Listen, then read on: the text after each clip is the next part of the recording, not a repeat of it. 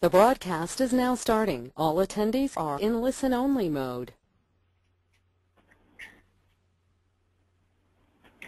Good afternoon. My name is Janet Walker. I am Director of the Pathways Research and Training Center. And I am here today to welcome our panelist uh, discussion. We're going to be talking about peer support for youth and young adults. Before we get going, just want to give you a chance to look at uh, some of these helpful tips uh, for using the webinar successfully. Uh, if you're familiar with webinars, you've probably seen a bunch of these things before. I did want to alert you to one small change that we're going to be doing today that's the difference from how we normally run the Pathways webinars. We ask you, uh, we will have a chance for discussion at the end, but we ask you not to raise your hand until the end um, because I want to make sure that everyone who is actually um, has their hand raised at that point is still on the webinar. So if you have a question in the meantime, please use the chat function to send it to us, and we will answer those questions either at during at, at appropriate spots during the webinar or at the end, uh, as whatever seems to be most practical. Okay. Next slide. So as I mentioned, we're talking today about peer support for youth and young adults. And we have a panel that includes Lara Carranza and Zoe Harrison, who work with young people in Oregon. I'm going to let everybody uh, say a little bit more about themselves when they come on, so these are just very brief introductions. We also have James Sawyer and Laura Goodwin, who have been working on uh, gathering information about uh, peer support from their positions with the Technical Assistance Partnership uh, for Child and Family Mental Health and related positions uh, located in Washington, D.C. So, um, just a one further reminder, this is a question that always comes up. The webinar is being recorded, and a recording of the webinar and all of the slides will be posted on our website within probably a few hours of the end of the webinar. And you can either watch and listen to the whole webinar or just review the slides as you choose. So briefly, what we're going to talk about today um, is a research project uh, that we put together and collaborated with, um, you will also hear with James and Laura on. Um, it's just sort of an investigation into the nature of the role of peer support for youth and young adults is currently implemented around the country. Um, then we're going to give you a little bit of information about why we decided to study this topic, how we went about the research, uh, highlights of the things that we've found. Then we're going to have some reflection on some of the main findings and questions that are raised by our findings from our young people who work here in Oregon. And then we'll have some questions and uh, final reflections from the panel. We do want to kick it off with a little poll just to learn a little bit more about how peer support may or may not be uh, being implemented in your community. So we have our first poll here. Ask you to respond uh, to the questions. And in the meantime, so um, I'm going to ask James to introduce himself and just give us a little bit of background about uh, his, his position and how he got interested and, and or charged with studying this topic. Great. Thank you. Um, this is James Sawyer. I'm James Sawyer. I work, as was mentioned, as Jenna had mentioned, with the Technical Assistance Partnership for Child and Family Mental Health. Um, we are the, the primary um, technical assistance center for system of care grantee communities. That's a also called the Children's Mental Health Initiative out of the Substance Abuse and Mental Health Services Administration. And, and that, that um, cooperative agreement or grant is the primary focus of our TA Center, providing assistance, assistance to communities and supporting them as they develop their and implement their grant, develop their system of care communities. My specific role, I'm a youth involvement content specialist as my primary role. Therefore, I, I work with communities that are funded um, to implement systems of care around the area of youth involvement and youth-guided care. And so what interested me about this particular project, um, and I'll get into it on the next slide, but really it had to do with the evolution of, of youth involvement and how youth are involved in their services and their care and care coordination and how that process has become something that's um, more tangible than it once was. I've been involved with system of care communities and Im implementing um, mental health and behavioral health uh, youth involvement activities for quite a few years now. And um, I just I like to see how it, it, it has begun um, to evolve and how it's begun to become um, somewhat of a profession. So um, I look forward to talking more about that as we go forward. It looks like, I believe everybody can see the poll here. Okay, let's, uh, let's show the findings. Let's show the results. Yeah.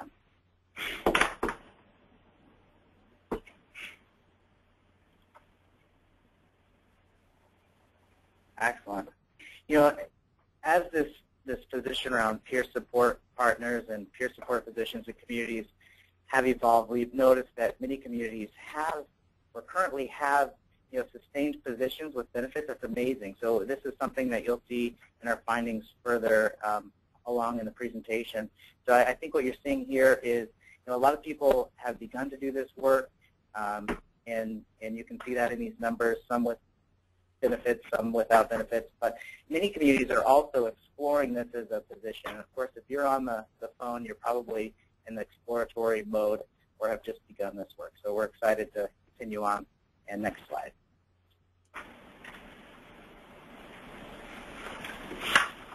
Okay, so James, are you done? Uh, did you have anything to say about the poll? Um, okay, there, there's the slide. I I wasn't seeing the slide on my screen. I should be on. Um, back up. We back up.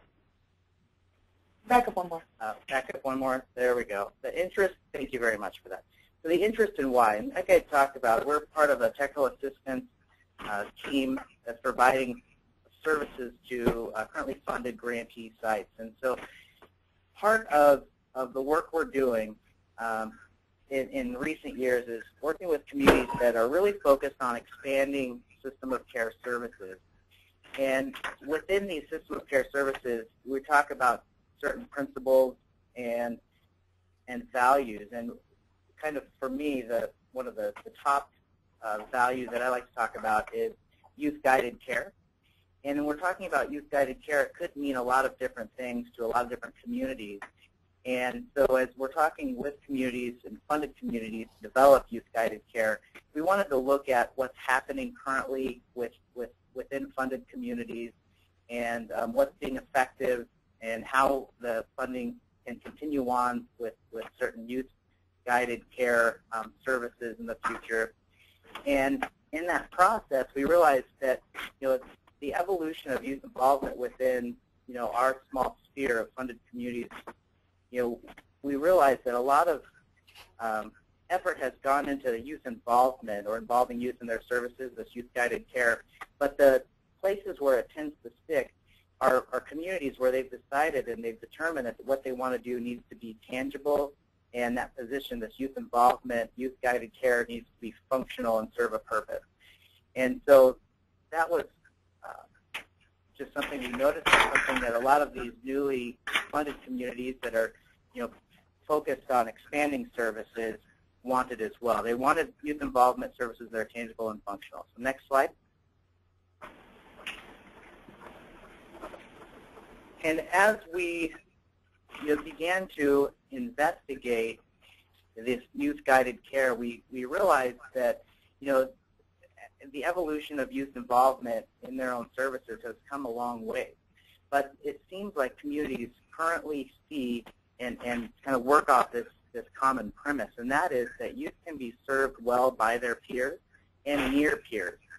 And it can be served in ways that may be difficult for traditional practitioners to accomplish, practitioners that weren't in the shoes of the youth um, in similar capacity. So our task through this um, investigation was to find examples of where youth have been served by their peers and has been successful, and share those findings with other uh, funded communities, both uh, system of care funded communities as well as those communities that are working with youth and young adults in transition that may or may not be funded with outside government funds. Next slide. Okay, so this is Janet speaking again, um, and I love this slide that was um, sent in by one of the participants in our research, and you'll hear a little bit more about how we got in contact with those folks um, from North Carolina Families United. And I think, um, you know, what draws a lot of people to be excited and interested in having young people involved in different roles um, in, in mental health services and care delivery um, is that they have a lot of energy, optimism, and great ideas, and that they are just actually really eager to improve and make improvements on the on the service experiences that they had. Um, next, please. So um, here at Pathways, we got interested in this topic. Uh, I personally have been in, interested in this topic for quite some time. Um, and early, I think, um, got involved in the youth support specialist role that was a requirement of implementation in the Children's Mental Health Initiative grantee sites. And I think it was actually called youth coordinator or something like that when it first started out. And, and nobody really liked that terminology. Um, there had been, there were a couple of sites where they had had young people involved in various activities. Again, this would be anywhere from sort of system level advocacy and, and sort of policy input to working directly with other young people. And they were sharing stories that had a lot of of um, kind of positive messages in them. Um, and I think some of the things in particular were the way that they could help engage other young people, kind of overcome some of, of the barriers related to trust in particular with uh, young people who've had services often, uh, if they've had an unpleasant experience or maybe just wary of the kind of labeling that sometimes can go on, that having someone um, to sort of connect them and bridge the gap can be very helpful think another another positive place where um, young people were where we were seeing positive stories about was with young people who were able to kind of give give their peers a kind of clearer idea about what was going on, so that they actually had a had a better sense of what services and supports that they might be receiving were supposed to do, uh, and and how they might profitably kind of interact with providers and so on.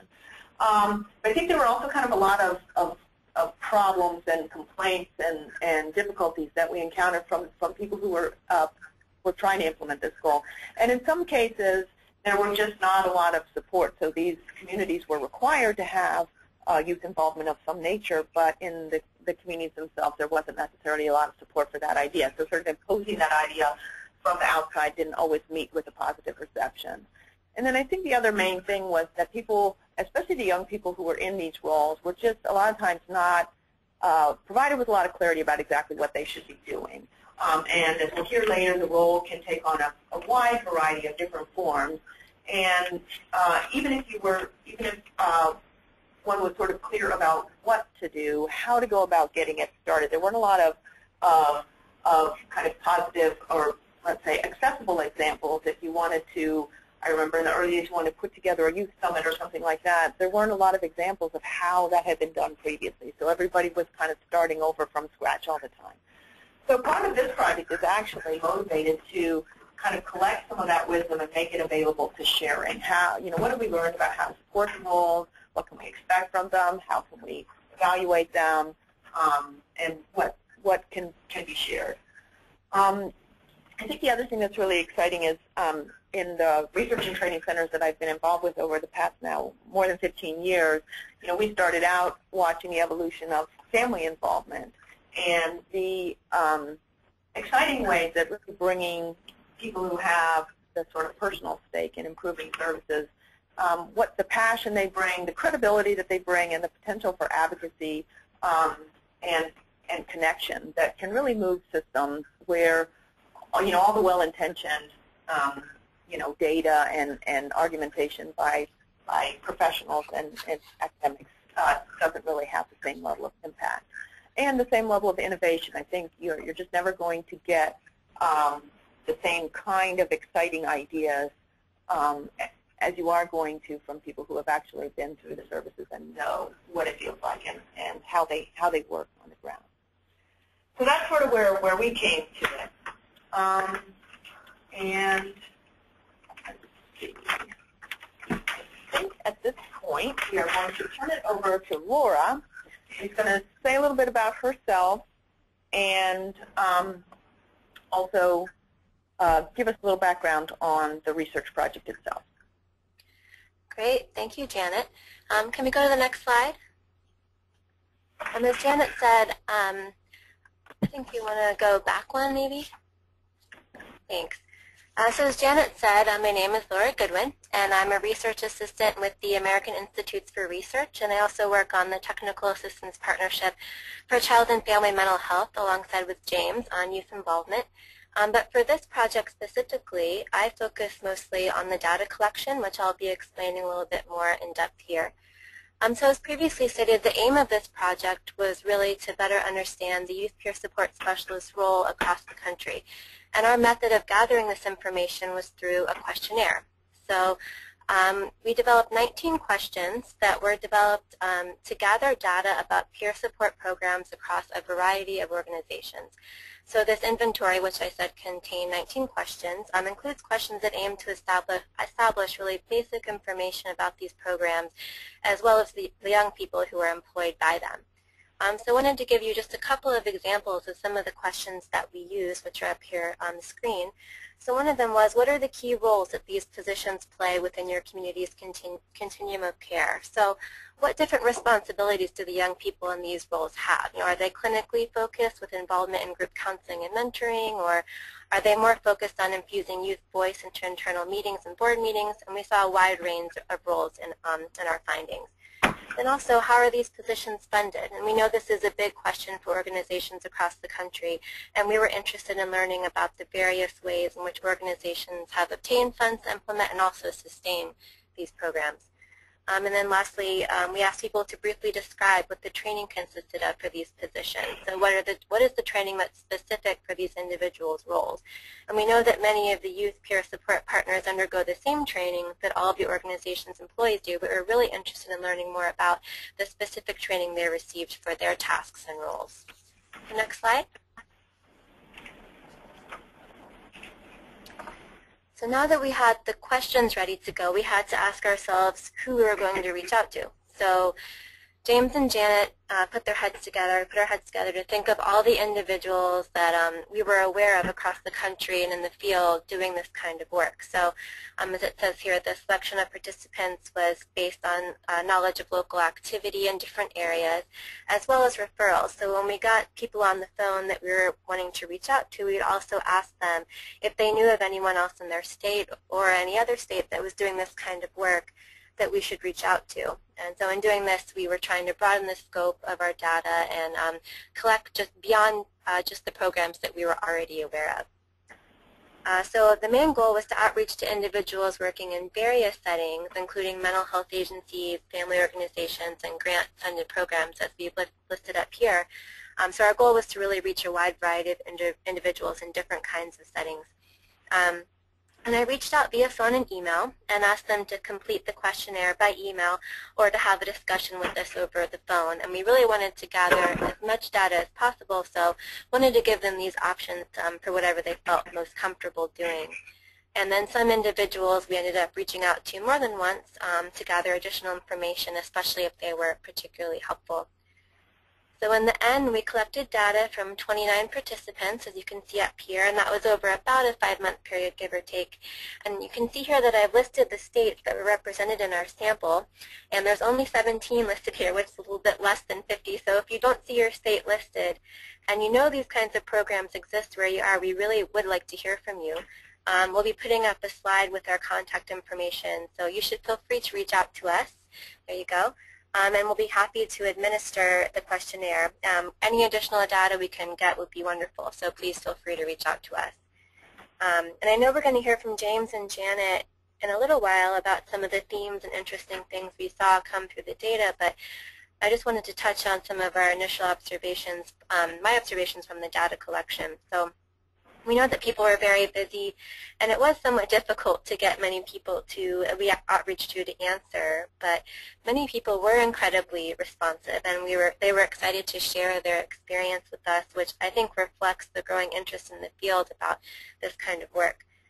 Um, also, something we noticed was that people appeared to be aware of what was going on in their state, but not always so much uh, in different states um, and others who were doing this kind of work. And this sort of reflects one of the goals of the project, which was to shed light and share what others across the country are doing in hopes that it helps others um, to implement their programs or strengthen maybe their current program.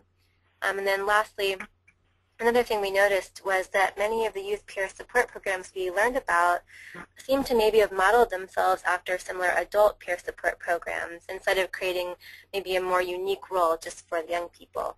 Um, so hopefully some of the information from our project can help programs develop specifically with the unique role of youth support specialists in mind. So I think we want to go to our next polling question on the next slide. Do we have that? Coming.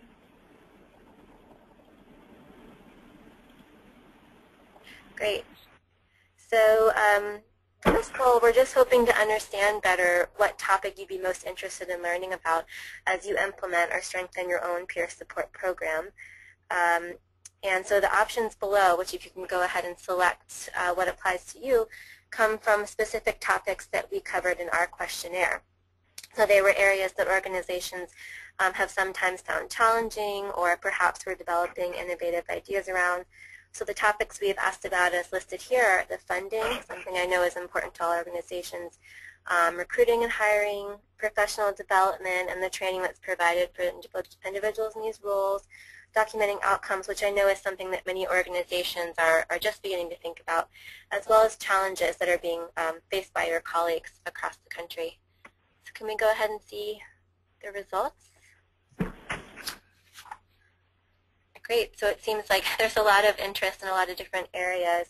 Um, I'm not surprised to see um, a big interest around funding. I know that that's something that's come, that comes through and is challenging to a lot of organizations across the country. Um, and I'm, I'm really happy to see some interest, 72% in training, um, given the fact that many organizations we spoke with maybe have not yet developed a training or professional development specifically for these roles. So hopefully by hearing more about what your colleagues across the country are doing and some of our data, you can learn more about um, how to go about developing those. Okay, Janet and James? Okay. Switch back to the slides.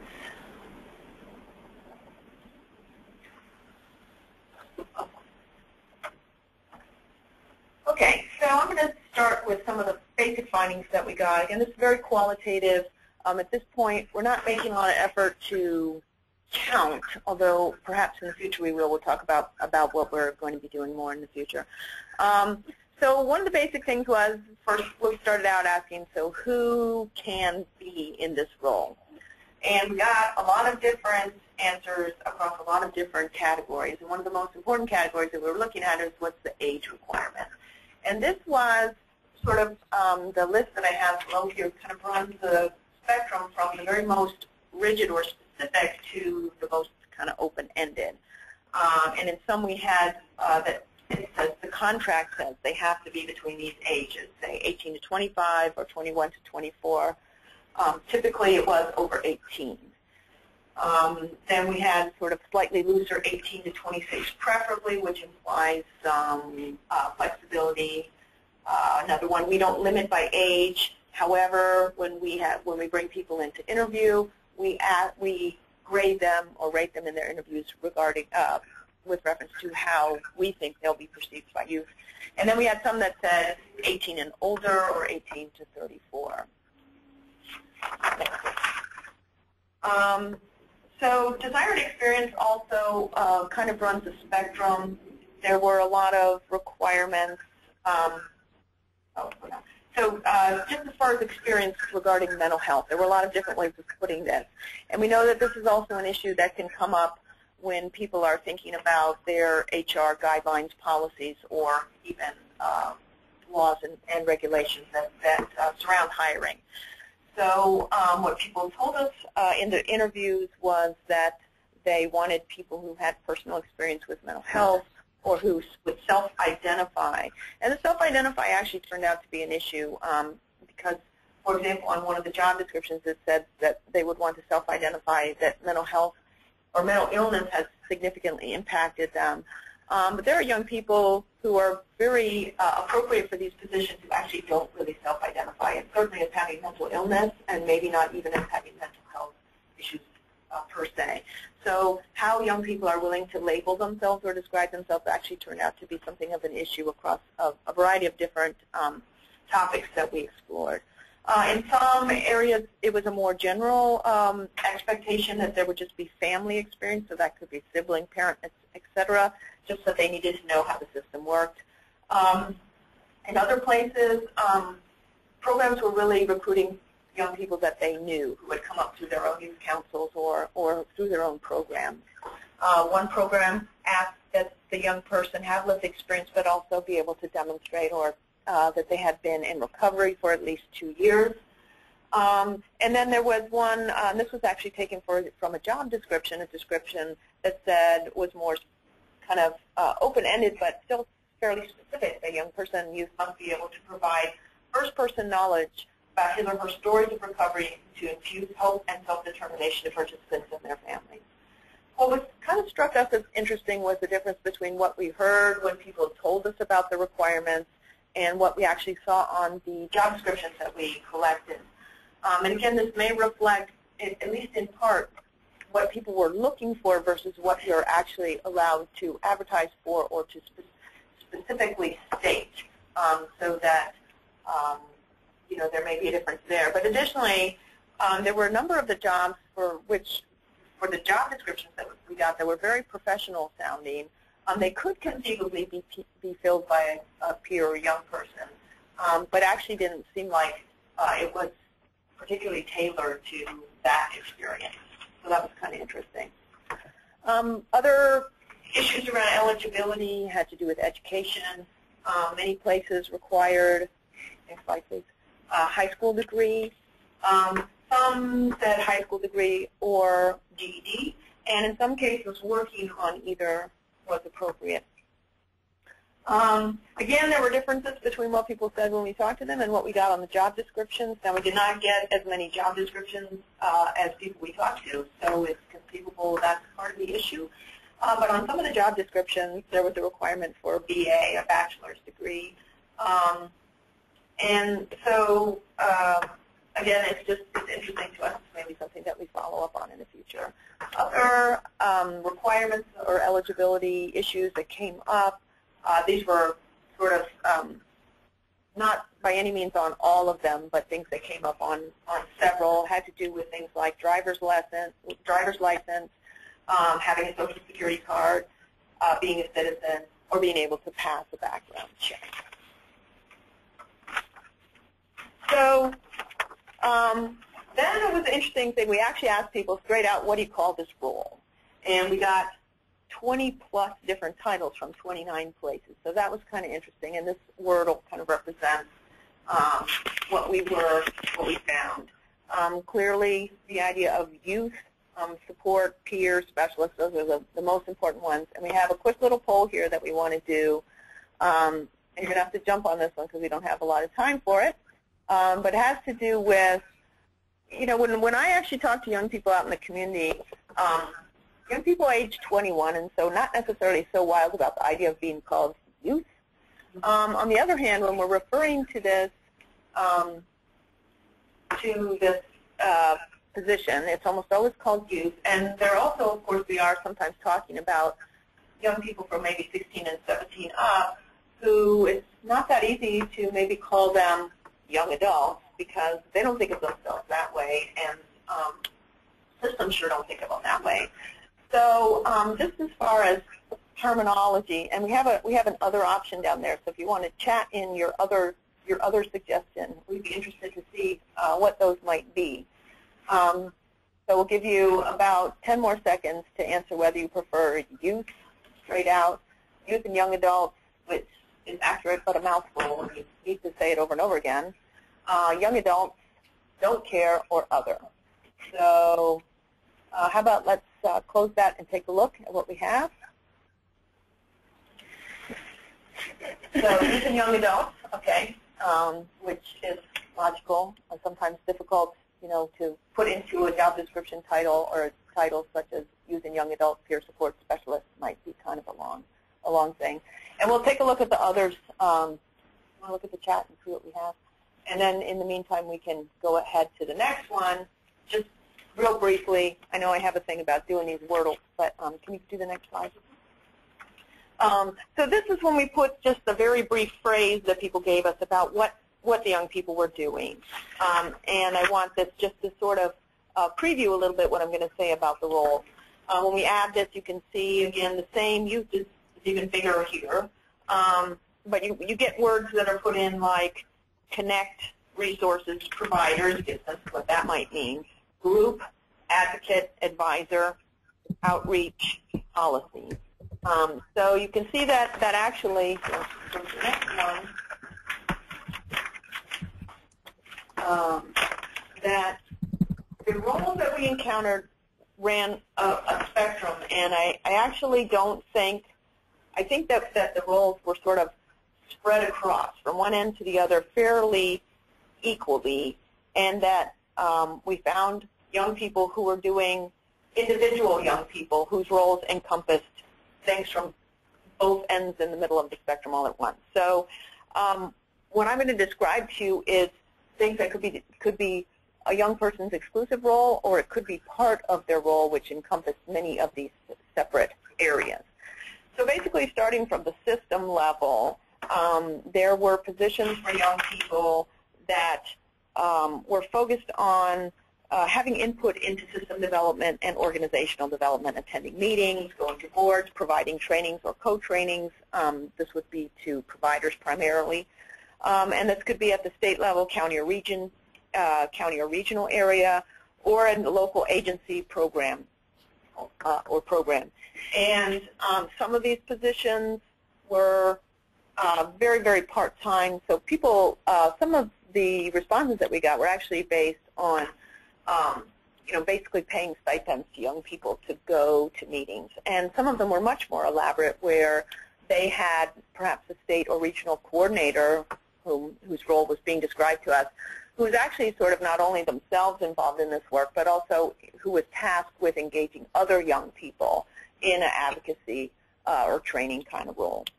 Um, then slightly, I don't know, um, more at the kind of macro level, but not as much as system development, was sort of leadership groups within the community. And these would often be associated with a program, a youth, uh, youth and young adult serving program. Would sort of be a, a, a council or a group whose goal was to, to further develop the leadership skills of the young people who were, who were involved in. So there might be a curriculum. Um, the group might themselves decide on um, priorities, or, or, and often these were advocacy priorities, or perhaps fundraising, or um, certain kinds of other youth development projects. Then kind of more towards the sort of um, clinical level, I suppose, comes to, to youth groups that were more, more organized around um, both the group themselves, but then also shading towards skill development groups, um, and that might be at the community level or the program level where young people might decide what skills they might need, or it might be more structured thing where there was um, skill building provided around, say, uh, job, uh, job search and so on. And then there were also sort of a subset of young people who worked in drop-in centers. Um, and sometimes they would be doing group things with young people there. And then finally at the sort of individual development end of roles, uh, there were quite a number of places that had, again, either as, as complete roles or as parts of roles, one-on-one -on -one work between young people and, uh, and peers. And sometimes, in some cases, theirs was a fairly specific role within a, a, kind of a larger program model. So within, we saw a number working within wraparound, TIP, also Renew. Then we also, there was individual work, one-on-one -on -one work that would go on in a drop-in centers, um, and then sort of more broad system navigators and, and connecting. So I think we have another quick poll here. Um, it has to do with which roles you are most interested in seeing uh, be developed in your community. I think while we're talking, while you are responding to this, um, I just wanted to point out that um, sometimes there's a very strategic decisions, it seems, uh, being made in communities uh, regarding how they're going to develop these roles, and that they start at the sort of system work role, having young people be involved in uh, decision making and providing input into, say, uh, state councils or uh, or state committees, or perhaps on the boards of of um, interagency uh, groups regionally or locally, and that they are then the drivers. They sort of drive the system to work on sustainable roles kind of at these other levels, and particularly at the one-on-one levels. Um, so that, that sometimes there's a connection between, between the roles where advocacy by young people has led to uh, the development of a larger spectrum of roles in the community. So let's close the poll and take a quick look at it. Um, I'm always fascinated by the polls. So we see the, the highest interest, interesting, uh, a little over a third, people interested in working one-on-one one-on-one with other young people, and um, secondarily developing uh, youth and young adult leadership, and only only um, less on input and advocacy. So there, that was a pick one. So um, it's clear those two areas, the ones that seem to have the most interest. Okay, let's go back to slides. Um, and then just really quickly, assessment. There's not a ton to say about assessment because most people were really interested in assessing the role but had not made a lot of progress as far as figuring out how to do it. And that's, I think, um, really not surprising, in part because it's a role that's difficult to assess, I think, in certain ways. Um, in many cases, especially if we look on that one-on-one -on -one role, um, you saw that the peer support element is kind of a part of a package of services that a young person gets. And so you can look at the outcomes of the package of services, but it doesn't necessarily speak to the exact contribution of what the peer peer role has provided. So it's actually difficult to, to tease that apart. Um, the things that people were exploring or that they had implemented to some extent, um, satisfaction, so that was both for youth leadership activities, so you, the young people uh, would sort of respond to how, how, uh, how well they felt that these leadership activities were meeting their needs, also in a one-on-one -on -one situation. A lot of places would collect, and I think this is an extremely good place to start out um, with vignettes and personal stories that can be um, used to understand what the experience is like for young people in the community, but also um, to use um, as, as a way of, of uh, doing some evaluation and doing, doing some advocacy for these positions.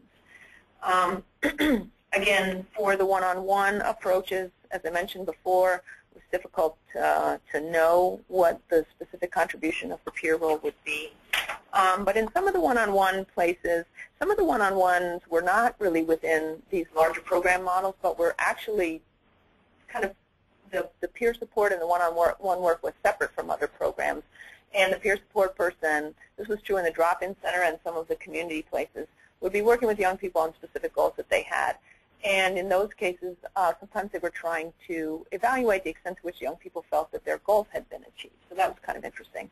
And then in some places, they're exploring doing fidelity to the sort of um, components or the activities that are prescribed in the role.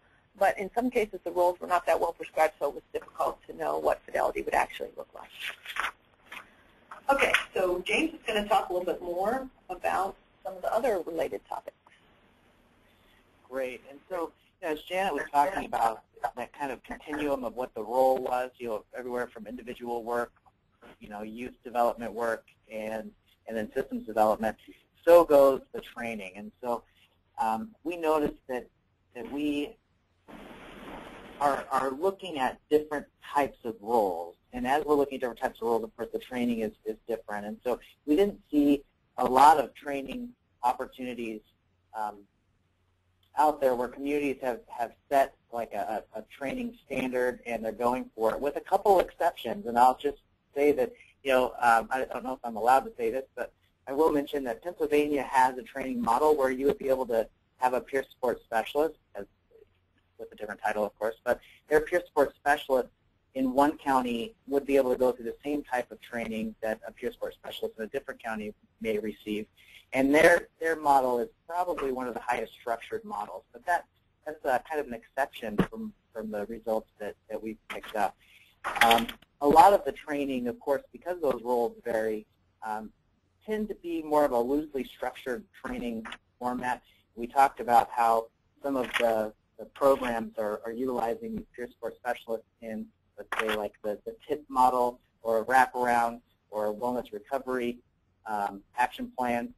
Those types of, of trainings, um, you know, obviously lend themselves to um, being, being highly skilled um, types of trainings where, where individuals can be trained to do those positions. Where you're doing more of the individual work at the drop-in center, those kinds of trainings seem to be a little bit more loosely structured and kind of a as-you-go type of, of training platform.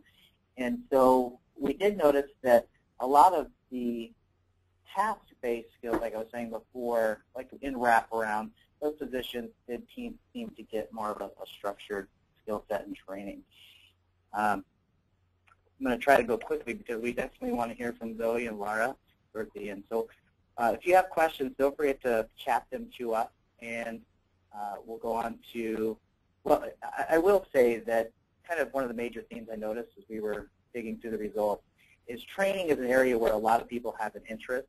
They, communities and, and the um, respondees to this survey wanted to do more around training. They wanted to have a higher structured training. They wanted to know what other communities were doing around training. And so we know that this is something that is of high interest to, to our respondees, and I would guess many communities around the country. We also saw in our survey a few minutes ago that 72% uh, of you are interested in training and learning more about training. So there is an opportunity to develop that a, bit more you know, as, as people investigate this type of role. So next slide. So as we look at, go back one slide, supervision. As we look at, at this training, we're also wanting to talk about supervision. How, we want to know how are these positions being supervised? And like we were talking about the continuum of role, uh, once again, the continuum of, of who's supervising these positions also are determined by, by what the role of the position is. You know, we noticed that I'd say predominantly um, the largest theme were the places that were utilizing the clinical director or a wraparound supervisor or a WRAP supervisor or a TIP supervisor, if you will, to provide those clinical supervision because those were positions where they were providing a specific role in the case management or, or kind of care of the youth that's being served by that support specialist. And, and so you, you saw that quite frequently come up. We also realized that, or noticed that other programs, because this is a specialized role and, and individual, kind of tailored to the individual needs of the community, many of the sites had their own special program manager or director, you know, that was um, put in place uh, for this specific role. Other places, it was an agency director. Once again, it seemed like we need to dig a little bit deeper as to why, but the few cases, you know, where that came up, it seemed as though the agency director was the person in charge because it was a specialty position, a new position, and they really didn't feel like it fit underneath the clinical director uh, or a wraparound supervisor because this is a unique position where they're offering peer support um, and not just clinical services. And so they knew it didn't quite fit with that clinical director, so they decided to put it underneath the agency director, as well as the next one you see is near peers. And so near peers are individuals that may have been a peer support specialist that have kind of gone on to become a wraparound coordinator or something like that, where they're just uh, a little bit further up the pecking order, if you will, in the whole scheme of, of hierarchy in an agency. And then, of course, because of similarities between family support partners or family support coordinators the family um, coordinators sometimes we noticed were also the supervisors of, of the youth and young adults that are being the, providing the peer support specialist service uh, because it's a similar role. Next slide. So certification. Certification is something that we found um, a lot of interest in the development of a certification for peer support partners. And I think as this is an emerging field, you know, people want to professionalize things. As you professionalize, you know, a, a, a position, uh, often comes certification in our line of human services. And so a lot of sites were interested in this. Um, there were a few sites that, that have a type of certification But what we noticed is the certification was based on either an adult program that had been kind of retrofit to work with youth in transition, like the intensive peer support services, intensive peer support partners. You know, it's something that we find in adult services, um, kind of based on that consumer uh, consumer-driven model. And as um, the consumer movement gets larger and larger in the adult field, they realized that they needed to kind of broaden their umbrella and work with um, the transition age youth as well. You know, in children's systems, as, as individuals grow up, they realize they need to work with the transition age youth as well. And so the, the adoption of these adult-based certifications to work with transition age youth is something that we noticed, and uh, Mississippi is, a, is an example of that. Um, however, those are limited by only being able to work, what I've noticed, is only being able to work with youth in transition that are 18 and older, and they don't quite go younger. Um, an exception to that is a pilot program that, that once again, I don't know if I'm allowed to share this, but a very new pilot program that is being um, announced or has been announced um, in Mississippi is working with uh, younger youth, and they're developing a certification model, um, and, and it's a special model that's not based on the intensive peer support. So, um, so certification is something that is of interest to a lot of communities, and, and um, just but it's just not quite there yet. So next slide. So funding. Funding is definitely tied into certification. A lot of places need certification so they can get third-party reimbursement. So how are these communities being funded if they're not certified, if they're not uh, Medicaid reimbursable at this point? And that is through, you know, a logical means of grants and, and aid. And so what we saw in, in a lot of our respond, respondees is they were originally funded, if not currently funded, by either a, a Children's Mental Health Initiative or a System of Care grant or a Healthy Transitions Initiative grant. And there's also um, a few child welfare grants that, that um, kind of had made some, some waves this direction. And so these kinds of funding sources are limited and they're recognized as not sustainable. And so in, in recognizing them as being you know, definitely time-based, states have gone out to fund these positions in other ways. And so you have places in California that are using a, a local and state tax levy. Um, they call it the millionaire's tax, where they're able to take some of those funds from mental health services and, and funnel them into youth peer support. You also have places that have managed to figure out how to pay uh, for the service as part of their managed care um, that they pay for. They, they do that by kind of integrating the funding into um, managed care contracts. The state, um, you know, uh, uh, funds um, private managed care corporations to, to implement it just part of the package that they have to uh, provide. And then other places have also figured out a way to manage um, uh, funding these positions through the Medicaid. And so um, mental health and child welfare case coordination funding is, is kind of how um, that, that's being funded in a few sites. But once again, it's, it's limited. People are looking for more funding opportunities. There's definitely uh, ways to increase that. Um, and I'm going to summarize kind of my experience as we as I'll, as I'll finish my section. Is I wanted to mention that this is an emerging field. You know, it's a neat place to be to witness this youth involvement kind of transition into formal services. It's, it's phenomenal that this is an opportunity um, that we have to be a part of, and so I'm grateful for that. There still needs to be some growth and development of the training, uh, figuring out funding, and definitely as it relates to um, developing you know, real models for peer support so that if what work is being done is, is structured up and, and, um, and standardized a little bit. And I'll end with that. Thanks, James.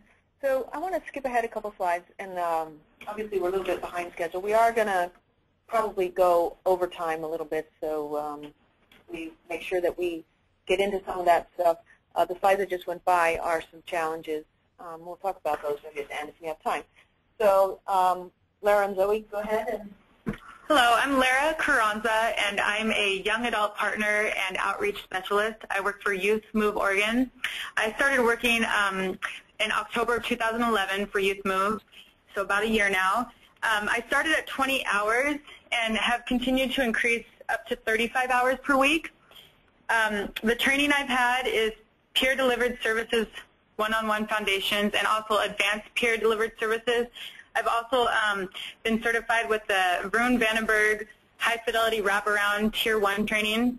And um, Journey to Advocacy, I've also had courses in grief, grief and loss, um, alcohol and drug treatment, relapse prevention, victimization, and a course in um, post-traumatic stress um, disorder. Um, I'm Zoe Harrison. I'm a peer support youth support specialist um, for Marion County Mid-Valley RAP and New Solutions. Um, I've been working for the county doing this position for seven months. I'm a full-time employee, and uh, the pay range for people in the county, at least, is um, anywhere from 13 to $18 an hour. Um, I have had uh, the peer-delivered services um, foundations training, the wraparound training, which I'm actually still um, engaged in.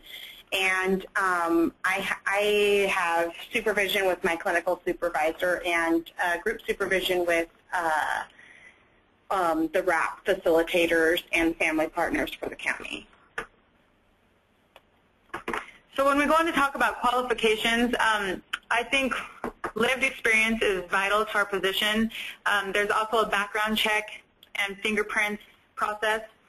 Um, but I just believe that, uh, you know, a peer is someone who has been there and done that and can now relate to others who are now experiencing similar situations. So that lived experience is really vital.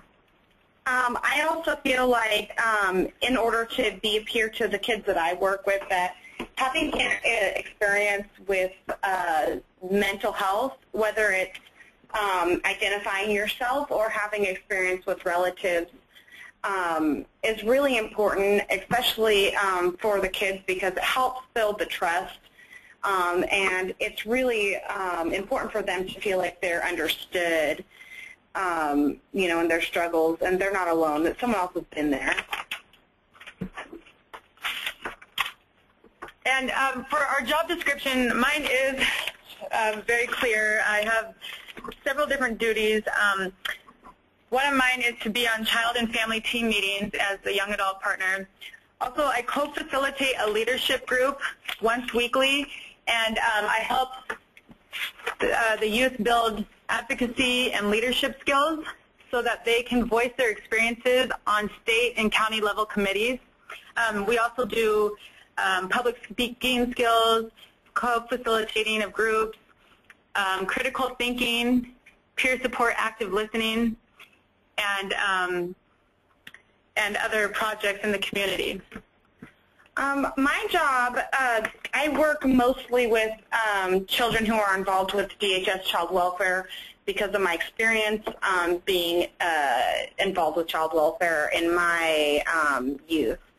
Um, my number one responsibility working for uh, with uh, kids who are involved with uh, the wraparound um, program is my number one responsibility is to the RAP team um, to support the youth and their treatment goals, you know, as um, designated on the wraparound plan to provide informal support around the, um, their struggles and their mental health needs. I encourage the participation in the wraparound process. I mean, it's their life. They should have a say in their treatment. Um, youth are more likely to participate in the treatment if they're um, involved in the decisions that are being made for them. Um, I feel like it's really important in our job to celebrate the strengths that the youth are having. Um, I think it also gives them more um, more drive to you know to fix their problems themselves. Because I mean, nobody is going to accept help unless they actually want it themselves. Um, we like to acknowledge failures as a part of the learning process so that we can brainstorm solutions. Um, uh, also for um, both Lara and I are um, being youth advocates. It's important that we sit on certain committees to um, support changes uh, that would better the kids, um, to better situations, say, in the mental health community or um, system changes with the Department of Human Services Child Welfare. Also, um, to advocate, we both sit on um, review committee, which uh, is basically to um, yeah to review cases that are um, being introduced to the uh, MVRAP um, for Marion County, Polk, Yamhill, and other BCN counties. Um, for job stability or turnover, I see. I think the key things are making sure you have um, great personal self-care. Um, also trying to mentally leave your work in a box before you go home so that you don't take that um, trauma, traumatization with you or um, some of the stress that comes with the work that we, we do on a daily basis. Um, but also the youth give me hope and I believe I give them hope. Um, and I haven't really seen any turnover um, where I work. I've seen a lot of stability. Um, I also know that having the two years of recovery or longer um, for those who are um, had addictions, that's definitely key. Um, I feel like um, with job stability, I think the most important thing for people who are doing this job is that, um, you know, a lot of us do identify with mental um, health issues. I mean, that wasn't something that I was required to disclose um, by getting the position. But I think that for, you know, us, us youth that have gone through traumatizing experiences, it's really important for us to um, be self-aware of our isms, you could say, like things that trigger us, things that um, bother us, and other things that um, can affect our personal psyche and, uh, you know, in turn actually affect our job performance.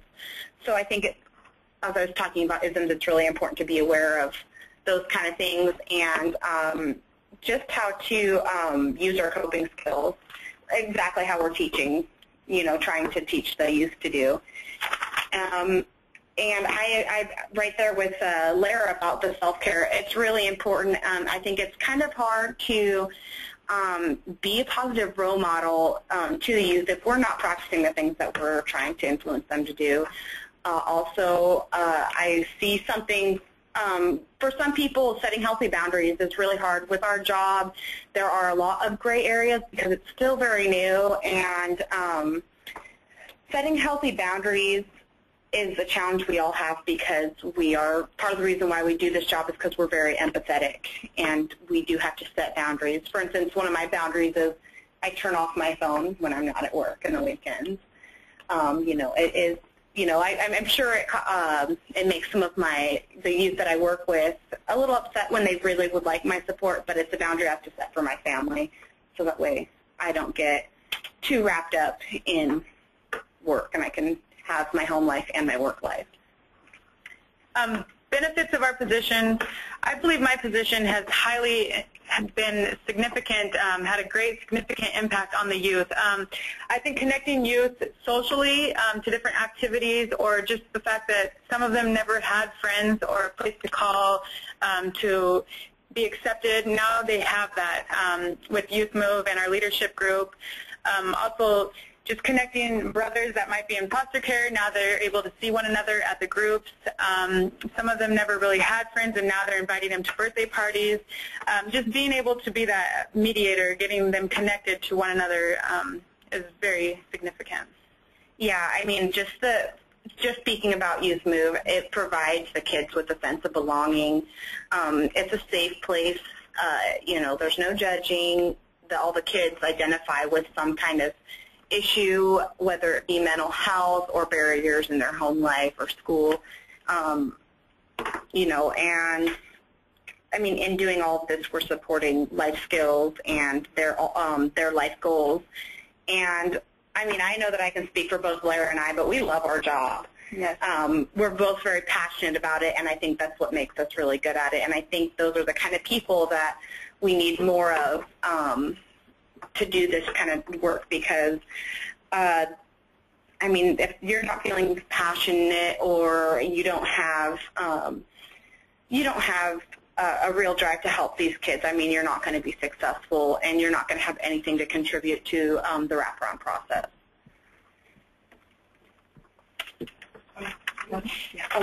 Okay, so then um, some challenges that we've faced.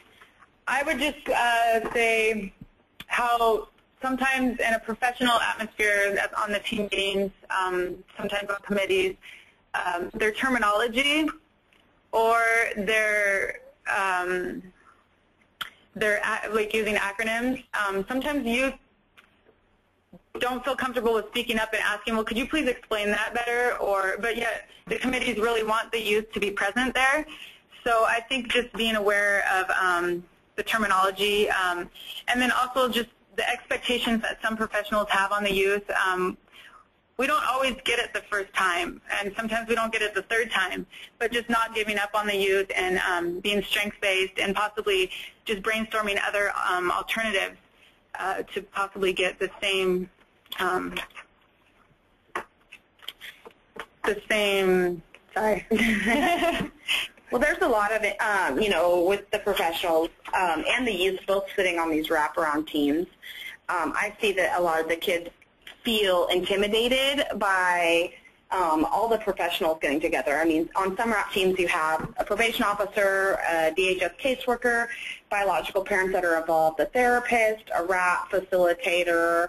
I mean, you've got tons of people involved in these processes, and then the kids feel like they're all by themselves, and that's kind of where, you know, Lara and I step in and are like, hey, we've been there, and we understand what they're saying, but we're also here for you to help get you to be a part of this process.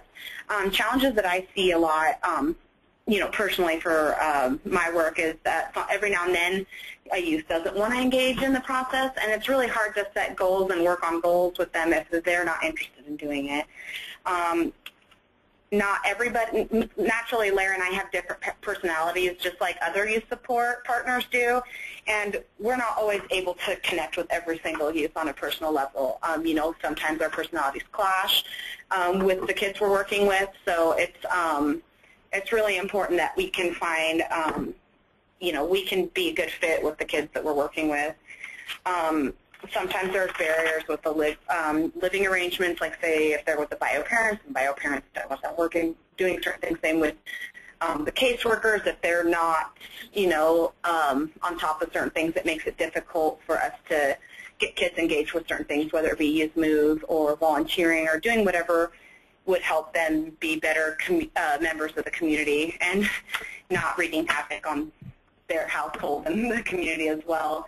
Um, Another thing that I think is really hard um, for people in my and Lara's position is when we're advocating for these and we're not always getting the desirable response um, from the other professionals, it's really important for us to maintain that professionality and understand that this is an unfortunate part of the process and figure out how to um, overcome those barriers. Um, it's for me, working with kids in um, DHS child welfare, it's really hard. I get a lot of frustration um, when I feel like the young person's basic needs are not being met, and I, you know there is questions about whether that's contributing to the problem as well. And like I said, sometimes you know you don't get the desirable desirable response from the professional, so it just it causes a little bit of frustration, but you still have to maintain your professionality and um, be a part of the wrap team first and foremost. Okay, so the last thing that we wanted to reflect on is better training. Um, I believe ASIST training is critical. That's for um, being able to assist people that are um, having um, thoughts of suicide. Yeah, um, it's really, I feel like it would be really important because a lot of the kids that um, we're serving, they all, I mean not all of them, but a lot of them have trouble with thoughts of inadequacy, self, you know, confidence issues, and, you know, naturally suicidal thinking comes with some of that. Um, and then a few more would be like motivation interviewing, where that's reflective listening and open-ended questions. Also trauma-informed care, and then uh, best practices and street outreach for individuals with serious mental illness. And I know that um, for me personally, active listening is always a challenge because when you're hearing um, certain things from the youth and you're like automatically go straight to thinking, oh, I think I have a solution for that. I think I have a solution for that. That is not what we're trained to do. We are trained to listen, learn about the youth first and foremost and their life and the barriers they're having, and then brainstorm with them. They're supposed to be, you know, you're supposed to be helping them figure out solutions, not giving them solutions because it's, it's their life and it's their process. They need to want these particular solutions to help them in their life. I mean, what might work for me might not work for Lara. What might not work for Lara might not work for Janet. So it's really important that we have individualized um, solutions for the youth instead of just throwing them out there as a general. And open-ended questions um, actually talks the individual into wanting to change themselves instead of um, talking them into change. So brings a better outcome. Okay, well, thanks so much. Um, and I, I've been taking a look at the questions that are chatted in so far, and um, in a way it's kind of a segue into what we want to do to, to, to finish up. A lot of them are, you know, where can I get more information? Where can I find the name of specific trainings? Where can I find who's doing what? And I think we are in the next steps, obviously, uh, planning to do a more detailed presentation of our findings. And we do have to go back to the people that have participated in the research to ask them before we can share anything, um, because a lot of the things that were shared were preliminary or uh, kind of draft forms of things, or for some one reason or another, they didn't themselves necessarily have permission. Some of the things are proprietary and can't be shared with everyone. But we are planning to do a report that will have a lot more um, detail and perhaps get at some of, um, I would say, many of these questions that are up here. So, for example, people ask about job descriptions, who's doing what, um, et cetera. So um, that is in response to a lot of those questions. Um, see also uh, people who are congratulating our young people for doing a good job. We uh, They did a great job. Thank you. Um, and I guess at this point, we should probably say that we're maybe officially over, um, but we will try to get to some of these questions um, and maybe just a couple of reflections. Um, I'm just looking at the points that I was going to make, um, perhaps not so important to get to. Um, so I, there's a couple questions on here I actually don't really know the answer to, but here's one when it says that your um, the young person has to be between ages whatever 21 and 26. Do they do they just fire them when they get to be 26 or what? Do you know anything about that? Um, I think there's definitely um, opportunity to move up the ladder, um, become a director, or um, other areas like drop-in centers. That's what we're hoping to get in the Salem area. Um, so just being a director, of regional directors, probably yeah. So there's room to move up. And um, I'm I'm with 31. you as that as that as that. How old did you say you are? I'm 31. Yeah. So uh, and shoot, you're quite younger than me. Yeah, I'm 22, and I think that honestly, um, age isn't really um, isn't necessarily a factor. I think that if you have the kind of personality that can connect with the youth, I mean that's the that's the only thing. You know, like Lara's young at heart, so you know she gets along really good with um, the kids that we work with, especially in the youth move atmosphere. She does great with that. Well, this is actually, you know, here at Pathways, we have a number of projects that, that use, use peer coaches, and we have a lot of internal discussion about how close is good or not so good. And obviously, as you're, the two of you are kind of exemplified that it, it's, it's not a very rigid thing. But in general, I think we've come to the idea that um, young people who are getting into 25, 27, 28 are actually an ideal time to be working with with a young adult population in particular because they've actually sort of, at that point, they have a little bit more distance. And we have a number of our actually respondents in our um, in our research that we're also uh, you know worried about enmeshment, also the kind of excessive amount of pressure that gets put. I mean, it's, as you mentioned, it's kind of a high pressure job, very much. um, and potentially for young people still being in that uh, kind of early adulthood phase where they're not necessarily maybe past some of that stuff. So we actually um, heard people uh, and are ourselves considering being quite flexible on the upper limit of that and not feeling that it was necessary to say you have to be certainly younger than 24 um, or 26. Uh, and, you know, getting up into the older 20s certainly uh, may be a big asset. Um, so uh, one other question, Lara, uh, who provided your certification? There was a question, a clarification on that. Okay, for the peer-delivered services and advanced services training, that was Oregon Family Support Network and Youth Move Oregon.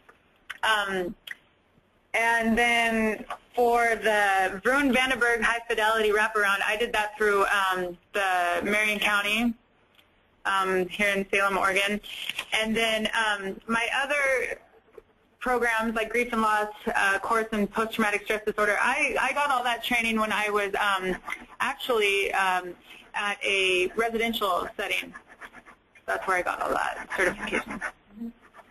And um, so I just want to go back in the beginning when we asked people to um, provide their input on what you say as far as youth, young adults, young people. Uh, that's actually the term that I use generally when I'm writing. But again, it, it doesn't fit very well into a job description. It, it just seems cumbersome, so that's interesting. And some people say emerging adults, which is also a term that I like, although a lot of people aren't really necessarily familiar with that. But I do think it, it encompasses that sort of older teenage and, and sort of early 20s um, age range. So um, now that we're significantly running over time, I think it's probably a good thing to wrap up. As I mentioned, we, we hope to be following up with resources, and if you want to know about when those are going to be coming out, if you are on our uh, RTC updates um, email list, or if you want to sign up from that on the Pathways RTC website, then you will be informed about when we have further publications coming out of this. So thank you very much for everybody. Thanks to our panelists for being with us today, and we hope that this has been a profitable afternoon for you. Thanks.